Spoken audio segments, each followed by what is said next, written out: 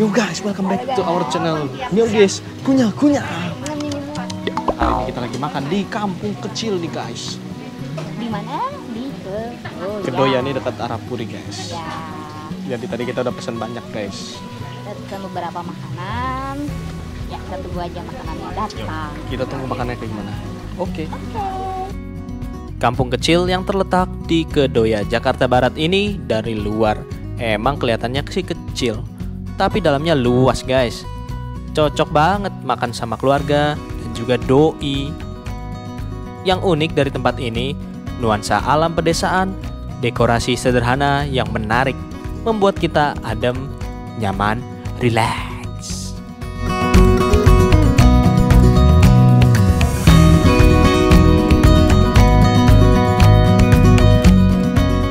Di sini juga ada taman kelincinya guys. Jadi nggak bakal bosen deh di sini. Sambil makan kita bisa sekaligus rekreasi.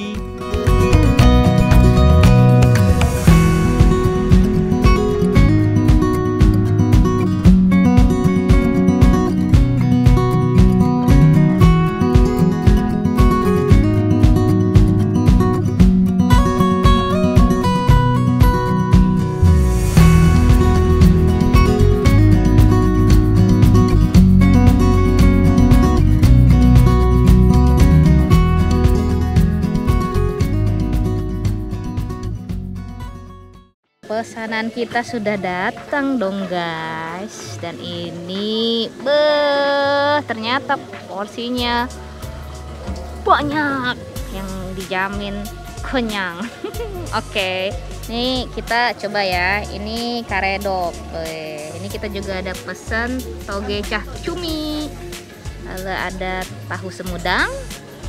Ini pasti udah tau lah ya. Ini ayam goreng kremes. Ini masakan Nusantara sekali ya, sayur asem. Lalu ini ada gurame asam manis dan yang terakhir ini kerang masak pedas. Wih. Ini yang paling Nusantara banget, cie. Gak lain adalah sayur asem. Coba ya, biasanya sih masakan itu kita lihat dari sayur asemnya nih. Kok sayur asemnya juga enak, yang lainnya pasti enak. Coba ya. Hmm. Hmm. Hmm, sayur asemnya nih mantap guys. Ini bener bener-bener sayur asem. Jadi bumbunya pas. Hmm. Nah ini kita mulai dengan gurame asam manis. Wah ini sih siapa sih yang nggak doyan ya? Siram-siram dulu guys pakai sausnya. Lalu langsung kita ciduk. Sebagai permulaan kita harus cobain dulu sausnya gimana. Uh, sausnya mantap guys. Oke, langsung kita cobain guramenya. Coba ya guys, sebentar. Nasi gak ya? Ikannya dulu aja deh.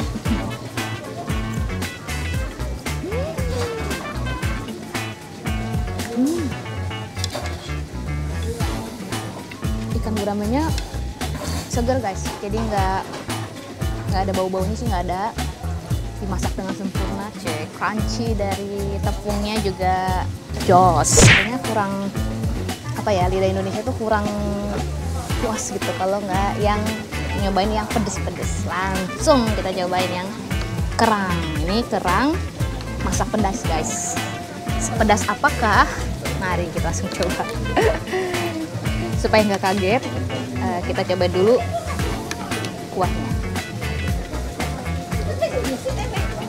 Hmm, oke. Eh, pedasnya bukan yang langsung pedes apa ya, pedes cabai setan kali ya. Ini pedasnya juga pedes manis juga sih. Kita cobain langsung kerangnya.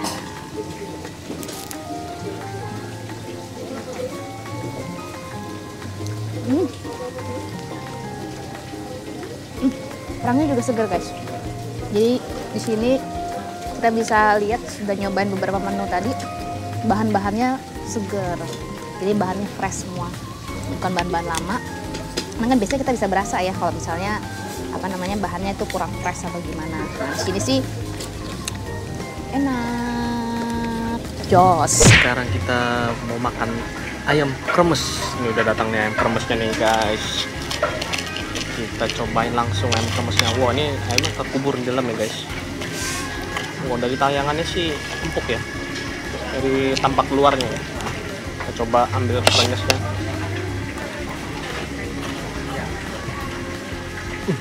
Wangi guys. Rasanya goks. Belum, dagingnya belum. Kita sekarang cobain daging. Wih, ini rasanya lain dari yang lain guys. Wah ini sambalnya nih, sambalnya kayak sambal terasi ya. Kita coba.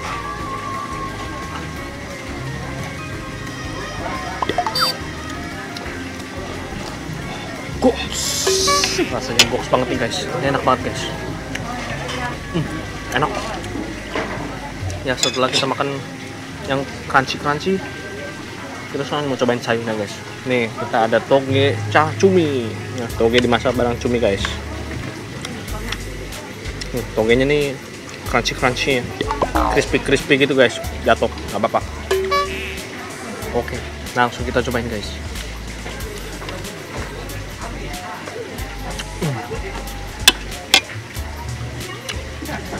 Togenya masih fresh ya.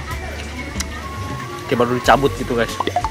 Terus rasanya sangat lembut, ya tender, terus crunchy, crispy, dan setelah digigit ada wangi-wangi gitu guys. Ini enak banget guys rasanya. Goks abis. Jos. Sekarang kita mau cobain tahu sumedang guys. Oke, langsung kita coba. Ini ada bumbu kecapnya guys, sambal kecapnya guys. Ini kecapnya sangat kental ya. Jadi bukan air nih guys, ini kecap guys. Wow, sampai lumer guys. Wow, tumpe-tumpe guys. Wow, netes-netes. Ini wangi guys. Kita coba dulu.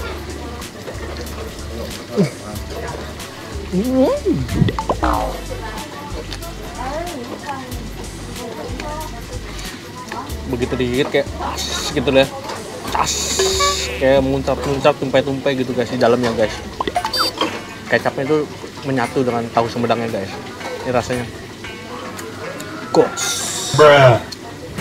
ada tekstur crunchy crunchy crispiness fluffiness. Ya begitulah. Yang penting goks Jos. Setelah kita cobain makanannya dan rasanya, goks habis. Oh, ini tempatnya juga asik banget, vibe-nya. Oke.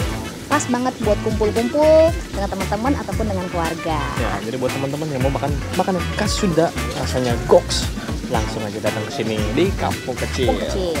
Oke, sampai jumpa di next episode. Miolides, kunyah-kunyah. Ciao.